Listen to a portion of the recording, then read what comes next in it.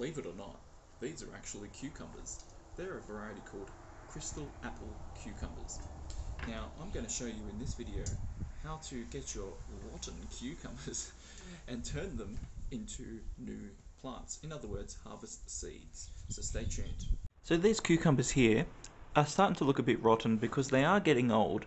Now I left these on the vine to ripen as long as I could. In fact, the vine dried up before I picked these off the vine. So I couldn't leave these on there any longer. Now these are a variety called crystal apple cucumber and this is essentially like a smaller, more traditional but probably never heard of variety of cucumber that you can grow yourself. But this video will still work with the same process for your normal cucumbers. But the key, the real key is let the cucumbers stay on the vine for as long as you can, so that way the seeds can develop.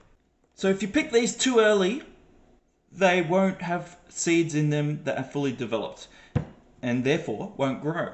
So you can see here this dark color on the uh, actual flesh of the cucumber itself. It's, it is starting to rot there. However, the seeds will still be viable in these things, so we need to cut them open, and we just use a knife. And you can see all the seeds have grown inside there as well as a lot of flesh on the outside.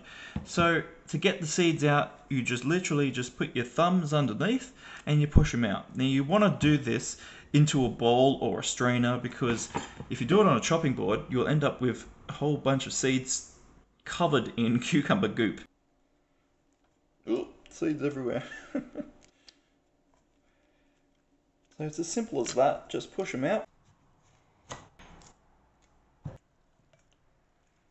So just running this under a tap, you can kind of separate the bigger chunks out and the pulp and just try and get these big bits out.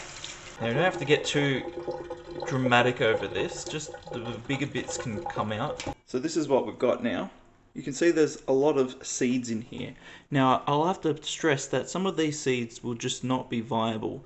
You can see there are some that are just too immature to really be counted as something that will grow there's seeds that dip inside and have a concave look about them as opposed to a nice bulbous plumpness. So this is the nice and round this one. You can take out the seeds that won't grow and the seeds that will by letting the seeds ferment with all of their pulp and everything. What you need to do is you fill it up with the seeds, add some water, and then put it in on your windowsill to ferment for a few days.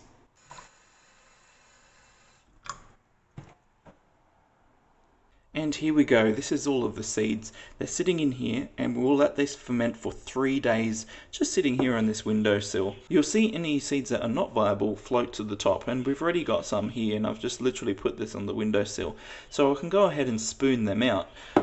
And what will happen is all of this pulp and water and the seeds will start to ferment. It'll create an environment that's not conducive to bacteria growing in here that has some nasty bugs that may kill your cucumbers when they're developing from seeds into seedlings. So it helps to inoculate your seeds by just putting them in this natural um, broth here for a few days.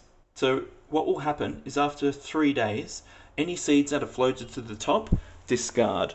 There will be non-viable seeds. In other words, they will not grow but all of the rest of the seeds there you'll be able to drain the water from and then get those seeds and put them on some paper towel. Maybe put them in a tray and you might need a bit more paper towel for this volume of seeds.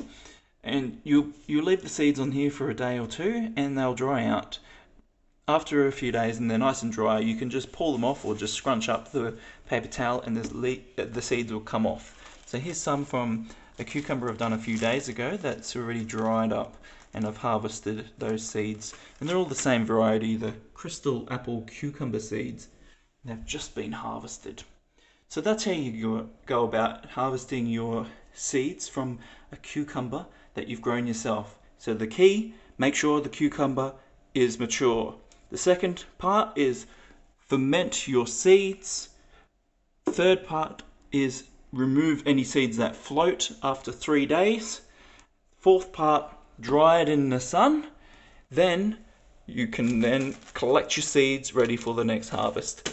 Well, that's it. Thank you for watching, and I'll see you all next time. Bye.